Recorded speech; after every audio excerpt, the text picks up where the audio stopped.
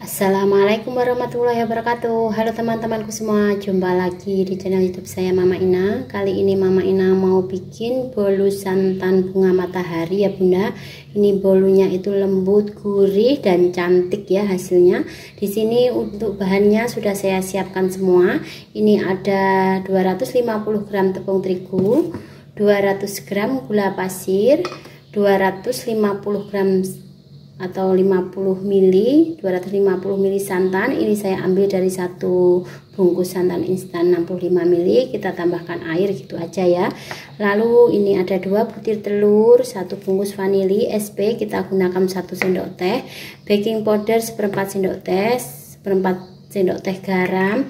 Dan untuk warnanya untuk warna bunga putihnya di sini ada coklat warna coklat warna hijau, perpaduan warna kuning dan oranye. Nah, di sini kita akan mulai bikin adonan seperti biasa. Kita akan mixer telur, gula, SP dan vanilinya.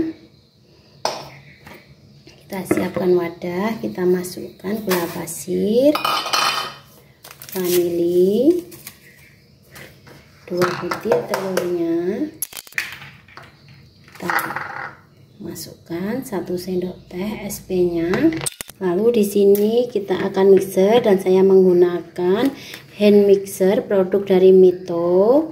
Kita akan nyalakan mixer. Hand mixer ini keunggulannya untuk bikin adonan banyak cepat mengembang.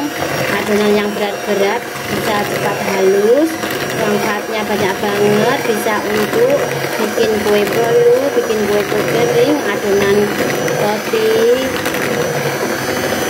Kita mixer dengan kecepatan maksimal selama 7 menit.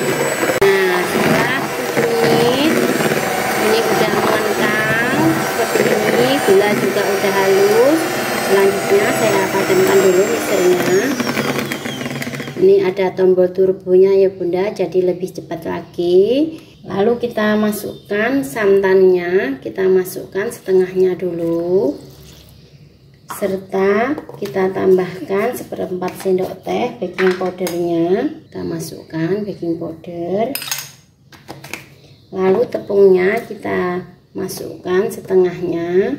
Sambil diayak ya biar hasil bolunya ini nanti halus lalu kita mixer perlahan dengan kecepatan paling rendah. Nah ini kecepatan paling rendah juga sangat cepat ya. Mixer Mito MX 200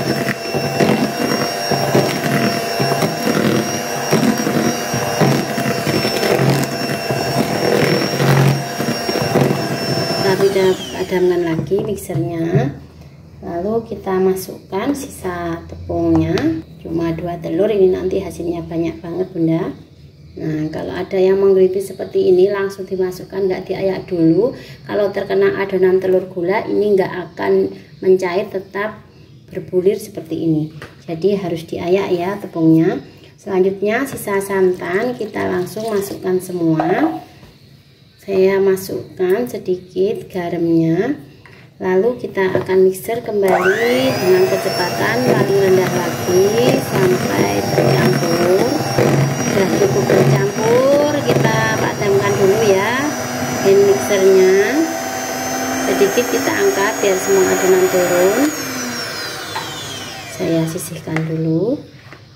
Lanjut saya akan aduk menggunakan spatula biar benar-benar tercampur yang terbang-terbang ini. Nah adonannya seperti ini ya bun. Kental tapi mudah untuk kita tuang. Nah setelah dirasa udah benar-benar tercampur seperti ini saya akan ambil satu sendok sayur. Ini yang untuk kita tambahkan pewarna coklat untuk topping lalu untuk warna hijaunya saya akan ambil 4 sendok sayur. Nah sisa yang banyak saya akan kasih pewarna kuning ya. Kita warnai yang sedikit dulu dengan warna coklat. Bisa juga pakai pasta. Kita bikin sedikit tajam untuk coklatnya. Kita sisihkan lalu yang 4 sendok sayur ini kita kasih warna hijau. Sudah cukup kita sisihkan. Lalu sisanya ini kita akan kasih warna kuning. Karena ini nanti yang utama untuk warna kuningnya ya. Jadi kita bikin banyak. Warnai kuning dan oranye. Lalu biar mudah untuk dituang ke cetakan adonan saya masukkan ke kantong plastik saya akan masukkan dulu ke kantong plastik untuk adonan coklat.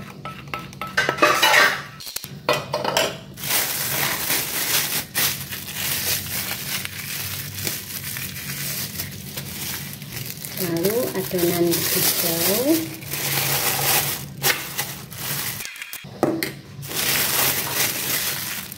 Yang adonan kuning juga kita masukkan ya. Semua kita masukkan ke kantong plastik ini kantong plastiknya kecil-kecil jadi jadi banyak ya.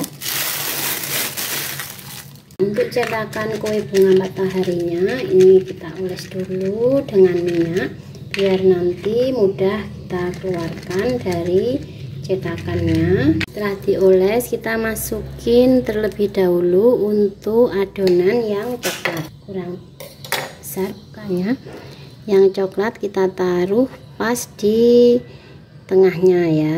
Ini tengah cetakan ini ada lesungnya. Lalu kita akan kukus terlebih dahulu. Ini pengukusan udah siap. Di sini saya menggunakan platinum pressure wok produk dari stand cookware ya. Kita masukkan cetakan yang udah berisi adonan coklat. Nah lalu kita kukus selama 2 menit Nah setelah 2 menit ini kelihatan udah matang ya. Selanjutnya kita kecilkan sekali api lalu kita angkat. Lalu kita masukkan adonan kuning ya bun. Ini kita masukkan semua adonan kuningnya. Nah setelah adonan kuning kita masukkan Kita hentakkan biar rata. Lalu kita siapkan untuk adonan hijaunya. Kita tutup adonan kuning dengan adonan hijau. Seperti ini. Lakukan hal yang sama. Selanjutnya setelah selesai kita kukus kembali ya. Masukkan lagi adonan. Lalu kita kukus lagi menggunakan api sedang selama 15 menit. Nah ini bolu matahari santannya udah matang ya. Wow pas penuh-penuh. Kita angkat. Setelah uap panasnya hilang kita akan keluarkan dari cetakannya. Seterusnya seperti ini ya bunda cara mengukusnya. Ini jadi dua kali pengukusan ya setelah uap panasnya hilang, kita keluarkan ya bunda kue bolu santan bunga mataharinya. Sedikit kita renggangkan pinggirnya, lalu kita tarik. Nah, seperti ini jadinya sangat cantik kelihatan kue bolunya ini lembut ya. Kita sisihkan. Ini sama sekali nggak lengket. Hasilnya semua cantik ya. Walaupun ada yang sedikit meluber coklatnya tadi, tapi tetap cantik tampilannya. Warnanya hijaunya segar kuningnya cantik. Lihat hasil bolunya ya bunda.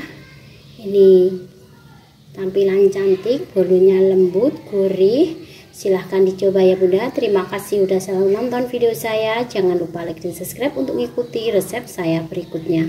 Terima kasih. Wassalamualaikum warahmatullahi wabarakatuh